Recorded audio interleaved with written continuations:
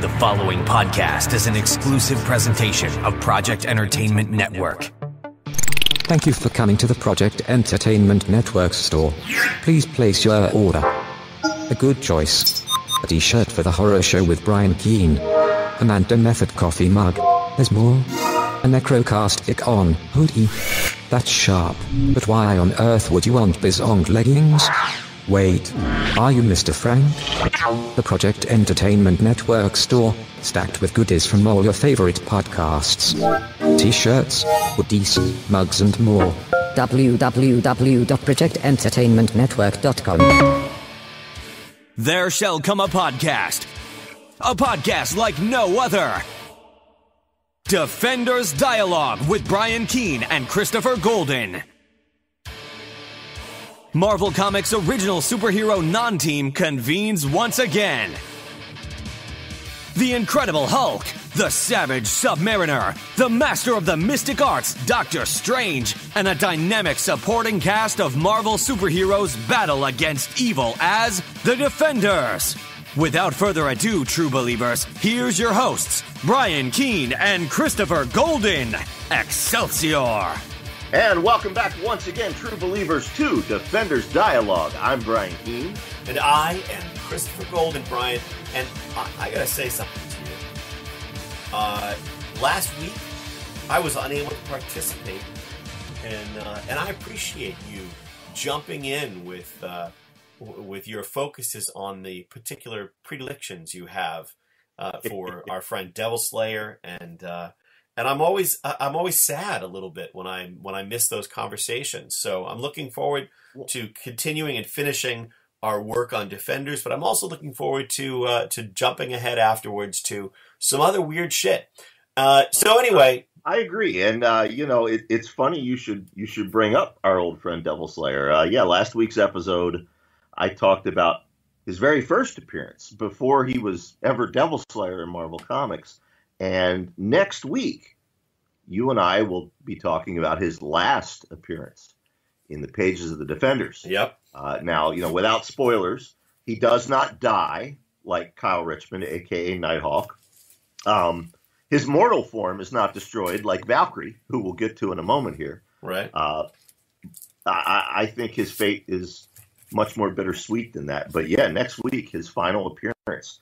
Uh, but but yes, speaking of Valkyrie, wow, uh, Defenders 108 is what we're going to start with today. But before we do that, Chris, um, I know here at the beginning of the show we we want to remind folks, you and I uh, both have an event coming up. We do, we do, and I say Excelsior for that event, Brian. Excelsior indeed for that. Event. that event is the Merrimack Valley Halloween Book Festival in Haverhill, Massachusetts, at the Haverhill Public Library, October 13th, from 10 a.m. to 4:30 p.m. Uh, I'm I'm looking forward to wel- welcoming you back, welcoming Mary back, welcoming uh, Owen King and Kelly Braffett for the first time, Grady Hendrix for the first time. Uh, my brain is totally fried. I'm very sleepy this morning. Um, I took- Grady, have you ever have you been to an event uh, that Grady has attended yet? I have I have shared a panel with Grady and his Okay. enthusiasm. I always say Grady is like the horror version of Roberto Benigni winning the Oscar. That's a great example. I was going to say it's like it's like he's a one man circus, and and it just he just he swirls into the room like this tornado. it's, it's amazing uh, to watch. Yeah, his his energy. I think the reason I feel so tired today is having met him. I believe he's an energy vampire and he sucks it out of the rest of us. that could be could be. Um, I also want to point out to you before we begin this is that it, it- in reference to uh, to this show, um, I finally unpacked the box of things that I picked up at Boston Comic Con this year, and Right. that box included the uh, the Marvel Masterworks of the entire run of the Champions, which I got for you, which I will hand you uh, in twelve days or eleven days, and uh, and also uh, volumes two and four of the Essential uh, Marvel two in one. Um, I'll have to pick up volume three, but uh, I have the the the first volume's worth in uh, in the original comics or in the Masterworks. But uh, well, you will you will never guess what I picked up at Baltimore Comic Con this past weekend. what did you pick up? Issues one through 55 plus the first two annuals of Marvel 2 and 1. Well, there you go. See, Uh, great minds think alike, and fools seldom differ. You, you know, before we're only doing two issues a day, so before we get to them, we we have a little extra time. While we're talking about comic cons and places we're going to be and stuff, I I would like to give a quick shout out, if I may, hmm uh, to the artist known as Franco. Um, Okay. you know, if you uh, are at all familiar with Aw Yeah Comics or uh, Tiny Titans from DC, Lil Hellboy from Dark Horse, um, Patrick the Wolf Boy, Franco is of, of course a star with children. Um, and a really nice guy. yeah, great guy. My 10 year old, Dungeon Master 77.1, now, you know, he has grown up knowing, you know, you and Wrath James White and Weston Ochse and Mary. He's not impressed by any of us, uh, but he adores Franco. And he and I have been going to Baltimore Comic Con since he was five. He's now 10. And every year he uh, he wants to stop by Franco's table. And I was just so touched. Yesterday, you know, we went we were at the the convention yesterday, and of course uh, at the very end he says, "Okay, let's go see Franco." And we go to the table, and and Dungeon Master is looking for you know any new volume of Patrick the Wolf Boy or what while we're waiting in line. And while we're in line, Franco looks up from doing a sketch for another another kid, and he sees us, and he greets Dungeon Master. He he remembers Dungeon Master, and it just it left such an impression on my son. He was delighted. It's the happiest I've seen him all year. Oh, that's Um, great.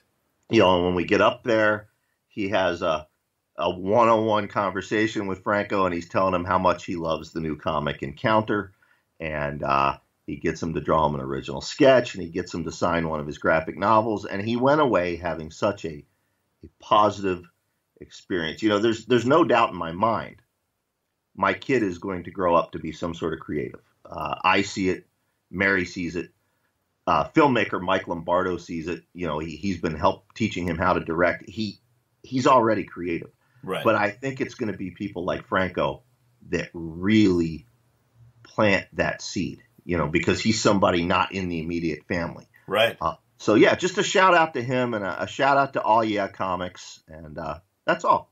That's all awesome. I got. Those those those are the best encounters. Exactly. You know, I mean, it- it's it's huge. Um, and you know what? Uh, I've met Franco. He's a really lovely guy. And um, and the other kids comics creator that I want to I, I just want to mention since you brought that up.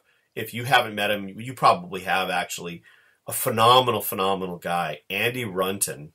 you know, I've never met Andy. Oh, Andy, the creator of Owly, and Owly is a uh, it's such a sweet, sweet book for all ages. And I, when Yeah. I say all ages, I mean it. I mean the youngest child, the oldest person can read Owly and and enjoy it. It's a beautiful work.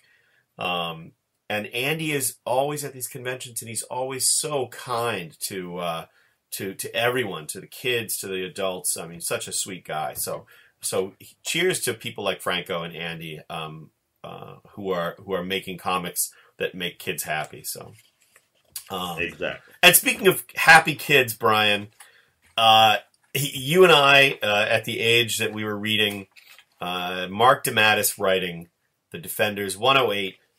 This was Uh, 1982, so we were both teenagers. Yep, exactly. 15. Yep. Um, uh, this was this, this particular issue had a plot assist by Mark Gruenwald, uh, the breakdowns uh, by Don Perlin, and the finishes by a whole host uh, of Marvel. Uh, you know, Joe Sinnott. Um, let's see here: Hilary Barta, Al Milgrom. Um, is it Jack Trapani? I think. I think so. Yeah. Um, and uh, yeah, so wow. Um, and and so done in a rush, but a shitload going on. A lot going on. Uh, very dense issue, and, and in fact, the one after this, 109, is even denser. Uh, but yeah, we begin with a, a full one page recap of what has gone before. Now it's been two episodes since we we covered that. So just to recap for everybody, in the aftermath uh, of our previous saga, Kyle Richmond is dead. He he was blown up uh, when August Masters blew up the the entire base that they were in, and in the aftermath of that, Valkyrie was shot in the head, point blank range, and supposedly died too. But after her funeral, her ghost appears to the other defenders. And we are then reminded that Valkyrie, the, the, the spirit of Valkyrie, uh, inhabits the body of a mortal woman named Barbara Norris. And Barbara Norris's spirit inhabits the Valkyrie's body in uh, the Asgardian version of Hell, Niflheim or Niflheim, however you pronounce that. It's Marvel's uh, Freaky Friday. Exactly.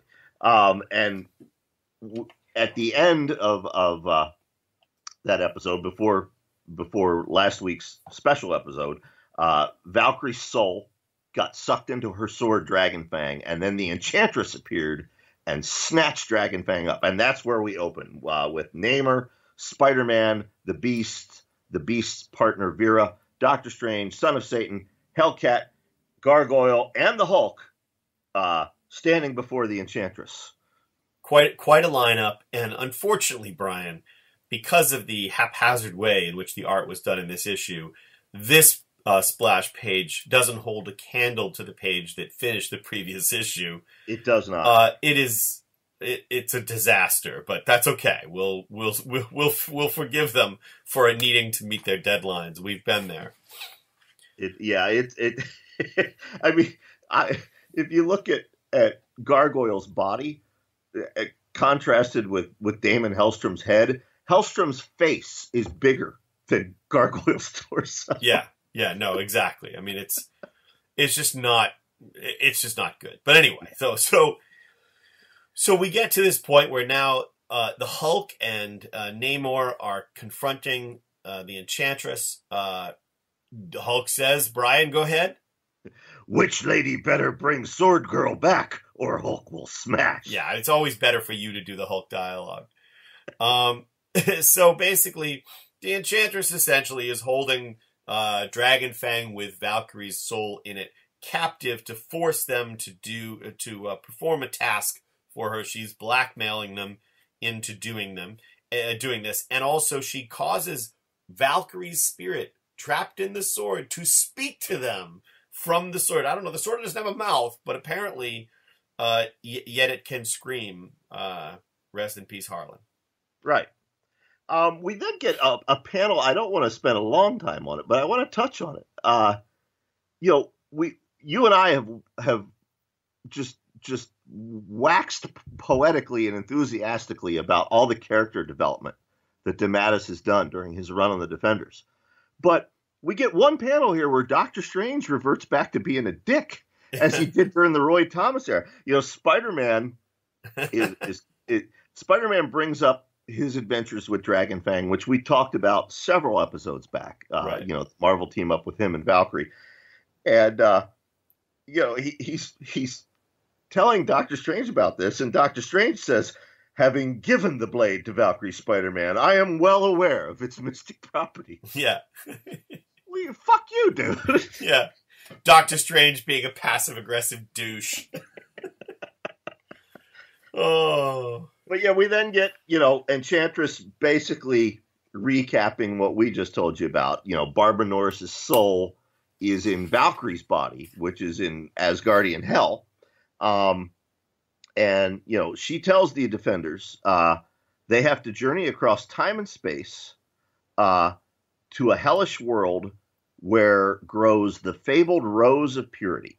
And if they get this rose of purity and bring it to the enchantress, enchantress, the Valkyrie will live again.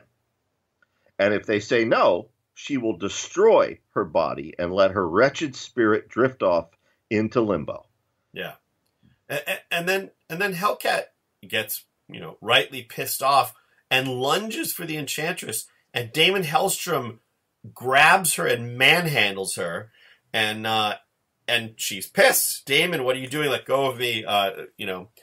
Uh, and there's this moment he says, Patsy, as long as the Enchantress has the Valkyrie's body, he's explaining, we must remain calm. And she's basically saying, wow, you're telling me to remain calm. The, the Netherworld has changed you. Uh, and he says, not as much as you may think. And he turns and he says to the Enchantress that he, they will do what she, uh, what she demands. Uh, Doctor Strange is not happy with this. Um, he, he wants to know and here's the the linchpin of this story: if they do what she says, and the Valkyrie's soul that's trapped in Dragonfang is put back in her original body, what happens to the soul of Barbara Norris, which now has no body? Well, that soul will eventually dissipate and cease to exist. This is a conundrum for our heroes. It is. It is. and, uh, you know, it, once again, we get some really great character work here by DeMatteis because the, the defenders are not in agreement about this. Um, you know, Valkyrie herself gets a say. And I love these segments with Valkyrie's dialogue because it's word balloons coming out of the hilt of the sword. Right. you know, she says, Valkyrie, as a sword, says to, to Hellcat, Patsy, much as I am loath to pass eternity as a bodiless wraith, I cannot inflict a similar torture upon Barbara Norris. So Doctor Strange is saying we can't do this. Valkyrie's saying you can't do this. Hellcat's saying the hell with you both. We're going to do this. And Hulk agrees with Hellcat. Right. Yep. Yeah. So then we basically split the defenders up. You know, they they they get to this point where they're you know, we, we don't need to go through what each character wants to do or not do. No, we'll just give you the teams. Uh, yeah. Uh, the the team that are going to go to work for the Enchantress are Hellcat, Son of Satan, Hulk, and Namor. Uh, the team that refused a lot of a lot of people with even temperaments. Exactly. Yeah, because you know if if if you're going to do things diplomatically, that that's who you want on your team. Um, the the team who are refusing to work for the Enchantress are Gargoyle, Beast, Doctor Strange, and Spider Man. Exactly. So then, basically, they're they're. It's clear that Doctor Strange and the group you just mentioned have a different plan. Right. Uh, the so they go off in, in pursuit of their different plan that we're that we're not privy to at this point. Uh, the Enchantress uh, goes to meet her beloved, uh, who is the the reason that she's doing all of this. Right, uh, and we find out that her beloved is the embodiment of love itself. Um, you know, any of our listeners that perhaps grew up reading comics during the Vertigo era, think back to Neil Gaiman's Sandman. Right. Uh, you know, where you had the embodiments of death, dream, despair, etc. Uh, this is sort of Marvel's version, and and yes, Enchantress thinks she is in love with love itself. There you go. And and in fact, uh, what she's doing trying to get trying trying to get this, and this I thought made me a little. I was like, eh. So she's trying to get this flower of purity to regain the purity that once was hers. Right. Um, I'm not sure exactly what that means, but I don't like the implications. Well, I, I see what you mean by the implications. I you know knowing Mark DeMatteis, I don't I don't think it was that at all. I uh, Enchantress, just based on her appearances in the Defenders alone, you know, not to mention the the rest of her history in Marvel, she's she's not a very nice person. Um, uh, yeah, but but here's my thing. Okay, so and perhaps it isn't about regaining her virginity or what have you, but um, but the idea that in order to become pure again, you have to get this rose of purity that somehow will make you pure again, and to do to do that, you're willing to do whatever horrible thing is necessary. Um, Boy, that sounds like an, uh, uh, a segue into a political rant, but I won't go there. well, it's like, let's say, let's pretend, okay? Let's pretend that a new government study said that by the end of this century, uh, carbon, di- carbon dioxide levels would rise 7%. There you go. Which would put Miami and New York City underwater. And let's say, hypothetically, just pretending, that the person in charge said, well, we're screwed anyway, so we might as well just, you know, undo all the restrictions we've already put on it. Yeah, we might as well just rush as fast sort of as we can to our destruction, headlong into our destruction. Uh, and by the way, last week uh, we were saying that none of that was true. and still haven't said that even though we've said that this is now true, uh, that we were wrong before, or that that there's some strange contradiction going on between it being totally false and completely true at the same time. It's like Schrodinger's uh, apocalypse. anyway, how did we get here? The Defenders inspires the strangest conversations, Brian. All right. So Hellcat, son of Satan, Namor, and Hulk, uh, with Valkyrie as their unwitting captive, because Hellcat is carrying a Dragonfang, the sword. They appear on this this desolate, desolate planet, um, and uh, there's a there's a nice little bit of dialogue here. Uh, you know, Hellcat saying, "Wow, that Enchantress sure knows her stuff." I bet she could teach uh, Doctor Strange a thing or two about hocus pocus. And Hulk says, Why would dumb magician want to learn how to poke us? and Submariner responds with, Never mind, Behemoth. So, you know, we haven't seen a lot of Namor and Hulk during DeMatteis's run, other than issue 100. And uh, right away, he's he's got the interplay between these two characters down. Yeah. You know? Yeah, and I did I did love that Hulk line too. That's Yep. you know, and then we have something really interesting, Brian, is that when Valkyrie inside Dragonfang is uh, is arguing with them uh, their plan of action, she sort of drifts away into a, a different place, and somehow they're all privy and witness to, almost like uh, Dumbledore has swirled the uh, pool of memories, whatever the hell that thing is called in Harry Potter. Um, and uh, I'm sure that Harry Potter fans are going to yell at me for that. But um, if I racked my brain or, or looked in my own pool, I would probably remember. I don't have a pool. Anyway, um, so they get a, an actual vision. They share a memory of Valkyrie and the Enchantress prior to Valkyrie and Barbara Norris having their whole switcheroo Right. um, their Freaky Friday. And she says, I say the Enchantress since Lord Odin did disperse the legions of the Valkyrior, I have found my life. So basically, Odin broke up the band of the Valkyrie, Right. and Valkyrie's bored. So Enchantress basically says, I, I'm in need of someone with your powers. I can offer you excitement, wonder, uh, the challenge your life's been missing. Um, and then we, we are interrupted, but it's clear that Valkyrie is now uh, having some memories that had been blocked from her. Right. Son of Satan uh, proposes perhaps now that her soul is freed from the body of Barbara Norris, uh, those blocked memories that have troubled her since her introduction into the Defenders way back in what was it, issue four? Yeah. Um, you know that that maybe those those memories are now starting to return to her. Um, and and now, Brian, I want to I want to just jump ahead a few panels and say, um, we get what is one of the strangest fucking things that that DeMatteis ever wrote. Uh, it, it, it is really really weird, um, but somehow great at the same time. Oh, I love it. Uh, you know, this is this is Carlton Mellick the third territory right here. Uh, you know, the the four defenders go trudging across this desolate planet. You know, there's steaming fissures and craters with lava, but then they hear a song, and uh, Hulk comments that the the music makes him feel happy but sad at the same time.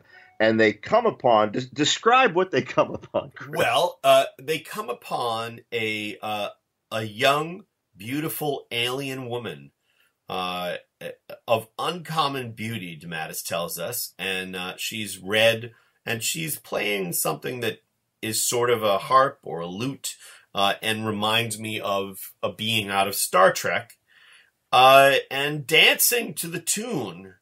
Uh, is an enormous blue, four-eyed, bearded, like clawed, you tentacled. know, scaled, clawed creature with you know uh, bipedal and humanoid shape, except for the two big tentacles sticking out of his abdomen, and behind them is the giant white like rose of purity or whatever we're going to call it. Exactly.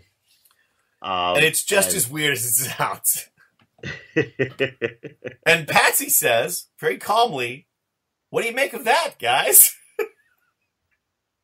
It, it reminded me of the, the the Ghostbusters moment when Aykroyd says, "No, I'm sorry." Bill Murray says, "Now there's something you uh, you don't see every day."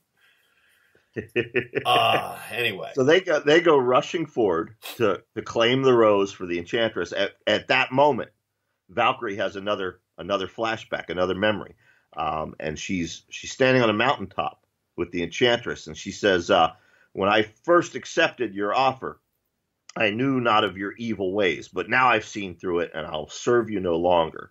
Uh, and it is at that moment that the enchantress betrays her and casts her body to hell, uh, frees her spirit, puts it in this crystal.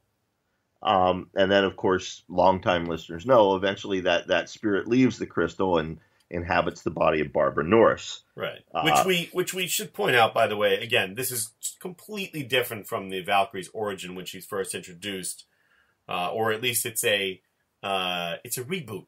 I mean, it it's not the first time the rebooted version. It's been evolving over time. Right. I got to Um, tell you, I prefer this version. Oh, this version- version's a lot easier to explain than uh, those early defenders. Yeah, well, it, it makes Valkyrie her own character instead of just something created by. Remember, we talked earlier on the idea that Valkyrie was not a a person; she was a creation of uh, of the Enchantress, purely a, a you know a creation, a manifestation of of some spell the Enchantress cast. And over time, of course, they they changed it so that she's an actual person. So, in any Right. case, we get back to our uh, strange alien couple. Yeah, they Um, stop playing music, and the big, giant, bearded hipster monster says, Greetings, strangers. Oh, look, he's articulate and nice. Yeah. Uh, it has been too long since last we welcomed visitors here in the name of our great God. And Yeah. Namor responds about as diplomatically as you can expect a submariner to respond. Yeah. God, you say? What God? Why, our beloved God of purity, of course, and the beast uh, motions, or I, I should call him a monster because Yes. we don't want to confuse people with Hank McCoy, the beast. The monster motions to the uh, the big giant white rose. Yeah. and he explains that he and the woman are both survivors of a great ship that crashed on the planet many centuries ago. Uh, the world was always as dead as it, it is now. The only life they found on it was the rose. Uh, the rose itself was the last of its kind, uh, and it nurtured and cared for them, filled them with joy, set free their hearts and their minds. There you go. Now, I, I would like to point out that although there's a an element of the uh, uh, uh, sort of Russian um, dancing to the visual of the monster doing his special dance that he's doing here, uh, apparently for no reason, all I could think of looking at this panel was uh, was Joss Whedon uh, as Numfar on Angel, Numfar of the Deathwok clan. Um, if, you if you watch the series, uh, you may not may or may not know that that this character was Joss Whedon in heavy makeup. Uh, so Numfar, do the dance of joy, uh, is is the thing that this thought of this made me think of. So for Buffy and Angel fans, uh, you know what I'm talking about. There we go. And uh, when the when the defenders surrender to this, the whole world changes. Uh, it becomes a paradise. Uh, you know, there are flowers, there are trees. Submariner is delighted that there are are waters. Remember, he gets his power and his life from the water. Um, it's Eden, There you go. uh, which makes the son of Satan a little bit uneasy, uh, but he's willing to go along with it. And then there's Hulk, and the monster says to Hulk, he puts his big blue hand on the Hulk's big green shoulder, and this is my favorite moment of the book. He says, "And what of you, my emerald friend? Your face is tight with worry." And and here we get the crux. The defenders came here to help Valkyrie, and now they're they're here in Eden, and they momentarily forgotten all about Valkyrie, but not Hulk. Hulk says, "World is nice, and maybe Hulk would like to stay here sometime, but Sword Girl is dead, and we must have Rose to bring her back." And the monster says, "You want to take our god? No!" And Hulk says, "Yes." and flattens him uh, for And a moment. fight It- breaks out. he doesn't say stay flattened. Yes, uh, he he. The monster starts beating the shit out of the defenders, um, but he's distracted by the male defenders. Uh, Patsy is able to sneak off with Dragon Fang and is attempting to hack down the White Rose of Purity. Um, While Dragon Fang, Dragon Fang argues with. yes, while while Dragon Fang argues with her and seems to be resisting, uh, and and then the the other alien, the Star Trek type alien, uh, inter- intervenes, and you know they're they're fighting. The world begins to change around them. Right, and and as the world is changing, there's also some delightful interplay between Submariner and Hulk. Submariner says, "Hulk, you fool! You didn't allow us time to explain why we need the rose." And Hulk says, "Don't yell at Hulk, fish man. Hulk was just trying to help friend." A- And that is all you need to know about the Hulk and Submariner's relationship in the Defenders. oh man. Anyway, so Hellcat goes to chop down the rose, and she cannot bring herself to do it. Yeah. There you go. That's all you need to know. Valkyrie, uh, you know, comforts her. Uh, the voice from the sword comforts her. Uh, and then Patsy speaks to them. Uh, Daimon, Hulk, Namor, li- well, I'm, and I'm doing this, by the way, so you won't. Uh, listen to me. what we're doing is wrong. And she explains, you know, why it's wrong. Destroying the one chance for a life, and, you know, and this is basically back, we, since we're talking about Star Trek all uh, again, you know. Anyway, in this case, the needs of the many out, outweigh the needs of the one. Right. Um, so then the, the, they're talking to the aliens. Uh, but a new voice chimes in, Brian. It's the, the rose of purity. That's right. I cannot forsake you, my children, though your violence did me grave psychic damage. Uh, I see now that what has ha- what transpired here this day has begun to, uh, has been an import to us all. For what man, woman, or God can truly appreciate any paradise until he has first walked through the wasteland of his own heart? And then, as Hulk says, Flower makes everything nice again. Paradise returns, but when Paradise returns, so does the Enchantress. Yes. It's, she is having none of this. Yeah. Um, she she tells him, you know, you've done it. You've screwed Valkyrie, um, and I'm going to leave you here to rot for all eternity. But not only that, she's she's planning. Even though the physical manifestation of love itself is standing nearby, in her rage, she is going to destroy the body of Brunhilde the Valkyrie. Uh, she goes to do that, but our other defenders have used this time wisely to track down where she is holding the Valkyrie's body, uh, and there's about to be a big battle. The boss battle is going to happen. But what happens, Brian? Uh, before the big boss battle can happen, Love confronts Enchantress and says uh, that it was Love himself, or itself, he herself, who reached out to Doctor Strange's mind and led Doctor Strange, Spider Man, the Beast, and Gargoyle here. Um, because he has learned that the Enchantress, she does not love love. She seeks to possess love and such greed is the antithesis of all that love is. Um, so he he has betrayed her, and uh, what he does, what love does, is he pulls Barbara Norris's soul out of Valkyrie's imprisoned body and takes her off together. So we get, you know, uh, we get a people happy who- ending for Barbara Norris. yeah, people who have been with us since episode one. Uh, you know, you, you lost Kyle Richmond, aka Nighthawk.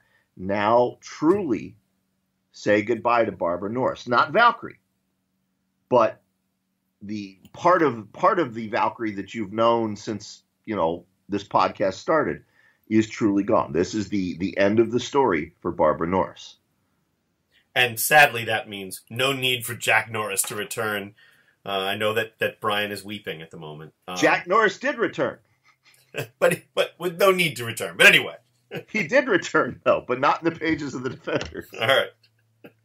I'm still waiting for you to pitch your Jack Norris uh, Agent of Shield comic book. But anyway, Well, well, you know, you're the one back to work.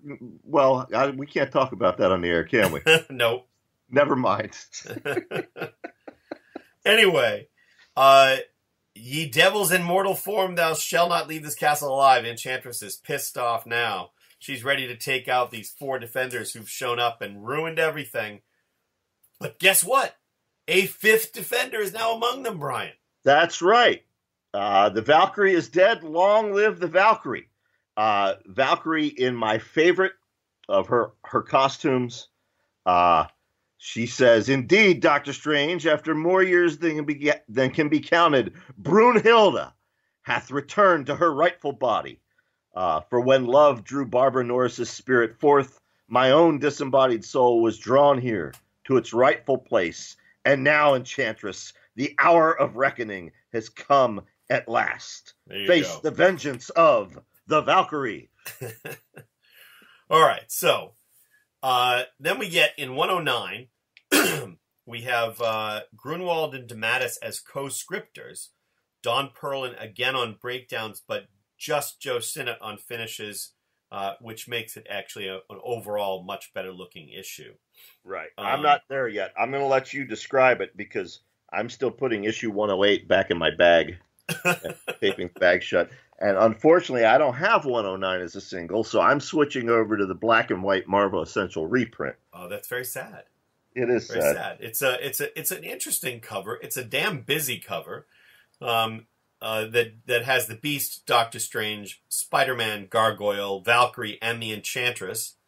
Uh, the splash page has the same characters lined up, um, and basically it just gets us back where we left off. Um, we get an explanation from the Enchantress, uh, you know, explaining basically what just happened in the previous issues. Valkyrie tells the defenders basically, "This bitch is mine. Hang back. Uh, you know, this is this is my fight." Uh, and and we go from there. Uh, Doctor Strange doesn't agree. He does not agree. Um, but he uh, Valkyrie has him put up a, a containment spell around her and the Enchantress. Right. uh, so that they cannot interfere. And now here's something I want to ask you. Yeah. Okay. Am I forgetting? I mean, we've we've we're up to Defenders issue 109, and Yeah. we've included you know some Marvel team ups, some Avengers issues, all the crossovers, Captain America. At some point, did the rules change where Valkyrie was allowed to fight another woman without causing herself physical pain? Um, well, I mean, at some point, apparently, Mark DeMatteis changed the rules Okay. because I definitely don't remember any moment where that happens, it, unless, unless here's my Marvel No Prize, Brian. okay. because now that Brunhilde has returned to her original body, whatever process the Enchantress used to swap those bodies, which would have put that rule in place, is now null and void. There you go. And you know what? You're right because as we're as you're talking about and thinking about it, yes, the rule that she couldn't strike another woman was put upon her by the Enchantress Exactly. back in those early Defenders issues. So yes, you're right. Okay, there you go. You get a Exactly. no prize. Yeah, there you go. Um, I will be expecting my no prize to be winging its way to me anytime now. Uh, in any case, um, I do find it interesting that while this, uh, what right before Doctor Strange cast the spell to create this uh, cage match between Valkyrie and Enchantress, uh, Spider-Man and Doctor Strange have an exchange, exchange explaining why she's in a different costume. Um, Spider-Man says, "How come Val's costume is different? Did it come with her real body or what? Even though when we saw her real body, it was in the original costume." And Doctor Strange says, "Apparently, it is the gear in which her rightful form was clad." Spider-Man. Uh, I don't think that was true. I'd have to go back and look at the previous issue. But regardless, um, clearly this is a decision that's been made. Now that the, the guys outside the uh, the cage match are attacked by harpies, uh, That's right. by the Enchantress. Um, And you know, it's it's nice to see uh, Spider-Man as a defender alongside the Beast because both of them have just got great quips and one-liners as they fight. You know, Spider-Man uh, punches a harpy and says "Bye bye, birdie."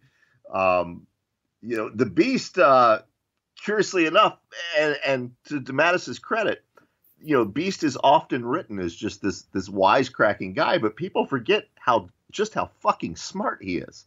And in one panel, as he's fighting a harpy, we we get his treaties, rhetorical treaties on, uh, you know, whether harpies are found in Greek mythology or Norse mythology. Right.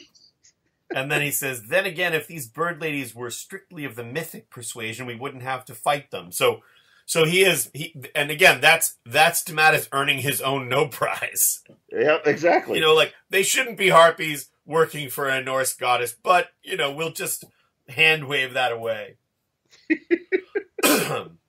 yeah. So the fight goes on uh, between uh, Brunhilde, the Valkyrie. Well, we're not going to call her that. Between the Valkyrie and the Enchantress. Um, Valkyrie 2.0. Yeah, Valkyrie 2.0. Or except the, we can't call her that for the rest of the podcast. So we'll just everybody remember from this point going forward. Yes, this is the original Asgardian Valkyrie. Yeah, whose name is also Brunhilde, but we won't call her that. Right. Because uh, every time, every time the name Brunhilde appears, I want Bugs Bunny to be singing it. No, actually, sorry, Elmer Fudd to be singing "Oh Brunhilde, you're so lovely." yes, I know it. I can't help it. Um. oh my god, I want to. I gotta go. I, I need to go rewatch that right now. Anyway, Spirit Magic Helmet. this whole scene is now recast with Bugs Bunny and Elmer Fudd. But anyway, we uh, we do, and and the defenders along with us, we we quickly discover that this Valkyrie is not like the old Valkyrie. This Valkyrie has no qualms about killing an opponent. Uh, she is legitimately trying to kill the Enchantress. Right. Right. As as she would. Um, Anyway, then we have this moment, which also addresses the presence of the harpies, where Spider Man uh, saves an overwhelmed Doctor Strange, and then Gargoyle flies over and he says, Doctor, I know this might sound crazy, but the harpies' life forces felt peculiar as I, uh, as I sapped them. Uh, like they didn't belong in those awful bodies. He was sapping some kind of energy out of them. Uh, and Doctor Strange realizes, oh, if this is an enchantment, I can undo it. And sure enough, Brian, they're not harpies at all. This explains the fact that harpies are from Greek mythology because they're actually women who, who the enchantress has enchanted, uh, tr- transformed into these harpies, and, and then uh, they're now women again. And the fight is over, except the fight between uh, the enchantress and Valkyrie continues that uh, that strange sphere in which the Valkyrie's soul was once contained, the crystal, is lying amidst the debris inside the cage match. There you go. Right. This um, is what we call a MacGuffin, by the way. well, sort of, but go ahead. Yeah. So to to oh, to, to wrap it up, because I don't know that we need to dwell on it. Valkyrie, uh, you know, she traps Enchantress's spirit inside the same crystal that hers was trapped in. Uh, Enchantress's body falls lifeless to the floor. Uh, Valkyrie is about to smash the crystal, destroy Enchantress forever, but then she decides against it. No, death would be a release from the hell inside this demon globe. So she gives the crystal to Doctor Strange for safekeeping. Um, obviously, Enchantress has showed up in Marvel Comics since then, so we know that Doctor Strange dropped the ball. and then uh, the defenders want to go home, but but Valkyrie says, "Nope, I've got some shit to take care of." Uh, and she goes to see Odin in actually my favorite scene in this issue. See, my least favorite scene, but not because of DeMatteis's writing or anything like that. I just, you know, as we've talked on the show before, Thor was the one Marvel comic I just could never get into. Asgard bores me to fucking tears. Uh, you know what? In uh, general, me too. Uh, I loved Thor always in the Avengers. Was bored by. I love Norse mythology. I'm a huge Norse. Anyone who's read my stuff over the years knows that I love Norse mythology. Uh, but I I never liked the Mighty Thor comic book growing up. although I loved Thor in Avengers. Right. Because the stuff, all the sort of Shakespearean, you know, like the way that they executed it was really dry to me. Right. Right. Um, but I did like this scene because of the sort of father daughter relationship between Valkyrie and Odin, and her basically going to Odin, who knows all and sees all, and says, Hey, you had to have been completely aware of the fact that the Enchantress screwed me over for all of these years, and you did nothing, you son of a bitch. It's I like the scene. I like that it humanizes Odin. Um, you know, they they reconcile. He explains to her what happened. Right. Uh, and, and there is a great panel there at the end where Odin, the All Father himself, there's a, a tear coming out of his eye. Yeah. Yep. Yeah. So he. But what but what I'm excited about is what happens on the next page oh, okay. uh, because it's the beginning of one of my favorite Defender story arcs. Uh, it's right up there with Six Fingered Hand and uh, the Headman Nebulon Elf with a Gun saga. Uh, it's coming up soon. Not this episode, not next episode. Three episodes from now, it's coming up. But uh, we get an interlude somewhere between realities uh, where Hulk, Submariner, and Son of Satan have been separated from the rest of their friends on the way home. And they fall through a hole in space and time um, on a planet that looks like Earth. Maybe it is Earth and somebody who we don't see, somebody off panel says, not the most graceful of landing guys. And Hulk says, huh? Hulk is seeing things. And Namor says, by the swirling Sargasso. And Son of Satan says, it cannot be. Uh, you know what's again what's interesting about this trio is that they're they're such a stable group. Um, but uh, yeah, but but actually we we do learn who they're talking to uh, very soon. Yeah, very soon. Yeah, yeah.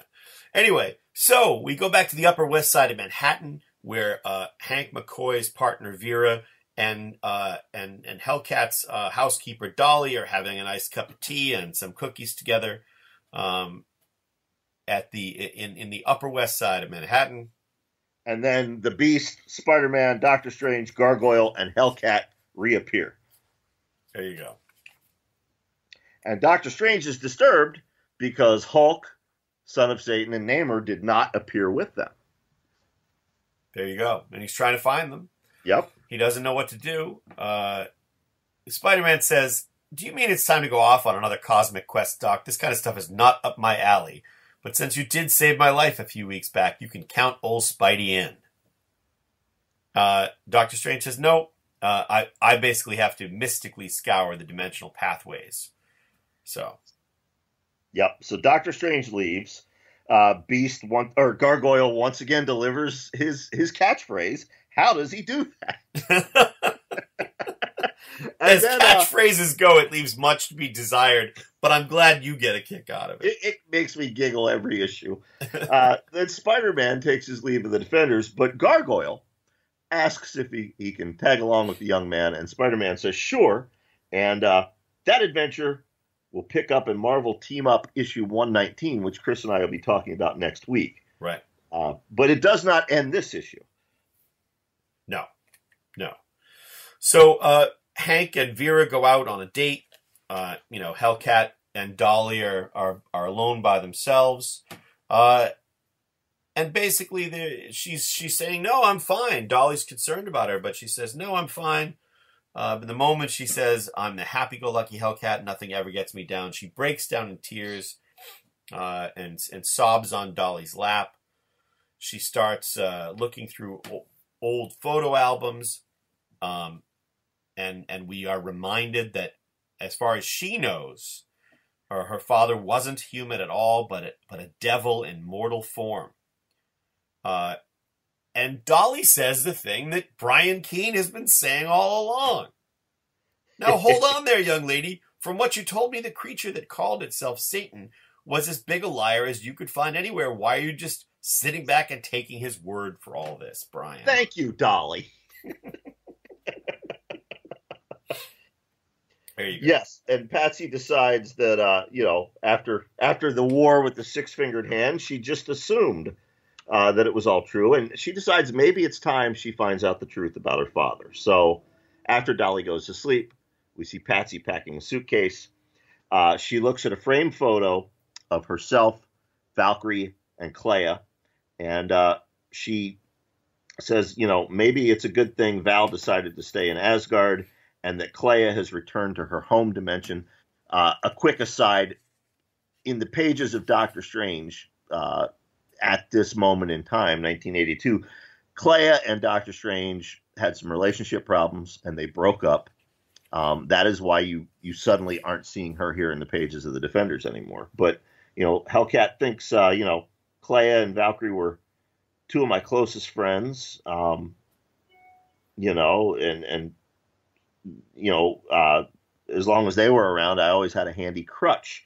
And she says, "No more crutches. It's time for her to to go off and be her own woman." And so she she walks into the night, but she does pause and think about Kyle Richmond, aka Nighthawk, who is of course still very very dead. like General Francisco Franco. And that reference, that dates me significantly. Now, interestingly enough, Brian, if we ended on that image of Patsy walking away, and I'm glad this wasn't, that this issue would have been almost a good ending for this series.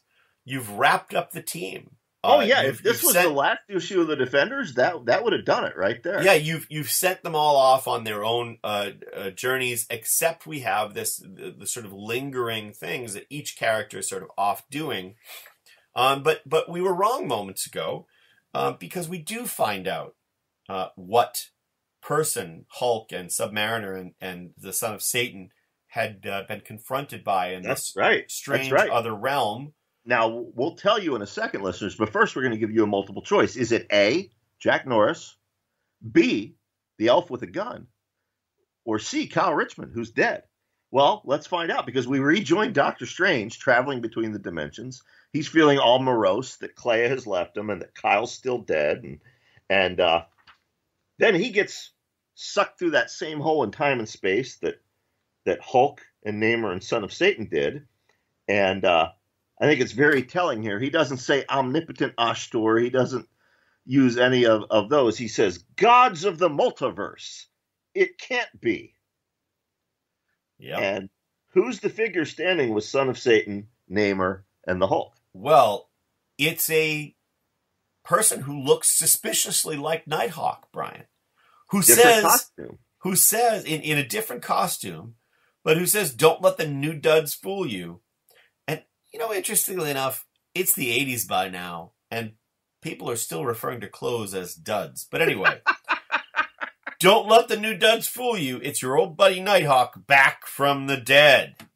Now, dun, dun, dun. Uh, that may or may not be true, folks, uh, but we will find out soon enough. That's right. Now, I want to remind you, folks, next week, uh, because we're following this in continuity, uh, next week we take a we take a quick side trip from this story. How how is Nighthawk back from the dead? Is he actually back from the dead? We're going to find out.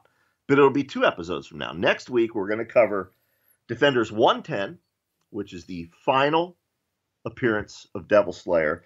Uh, 111, which details the start of Patsy's journey to learn the truth about her father. And Marvel Team Up 119, which takes place immediately after this, and, and that details uh, Spider-Man and Gargoyle's Big Adventure. There you go. And I would watch that movie, Spider-Man and Gargoyle's I, Big Adventure. I would. I would. T- I. I don't know why Marvel won't let me write for them anymore, but I, I could. I could just. I could do a six-issue buddy comic, Gargoyle and Spider-Man on the road, and with young Peter Parker and and ancient Isaac Christians and Christians. Exactly. Uh, you know, that'd be great. No, see, I'd probably use Miles Morales. Uh, oh yeah, Miles Morales younger, and so, Isaac know, the, Christians, a World War One era veteran. Uh, you know, trapped in this this undying body, and this teenage kid trapped on an Earth that isn't his. Can can Morgan Freeman be the voice of Gargoyle? Oh my God, that's perfect.